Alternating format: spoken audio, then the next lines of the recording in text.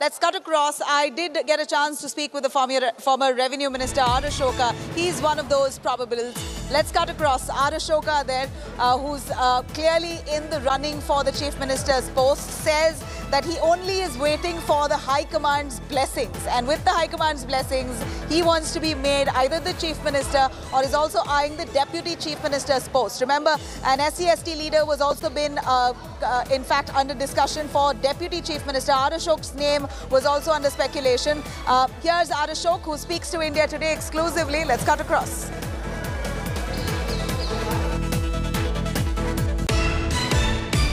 Former Revenue Minister R. Ashok, uh, he's also one of them in the running for the Chief Ministerial position in Karnataka. He's right here with me. So you have the BJP LP meeting in a short while from now. Possibly the name will be announced. Who do you think is uh, the face for Karnataka? No, evening uh, LP meeting is there.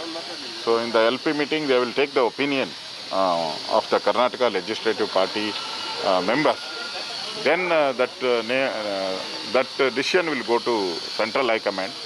So Central High Command will take decision. I think uh, tomorrow. Okay. I think today only LP meeting is there.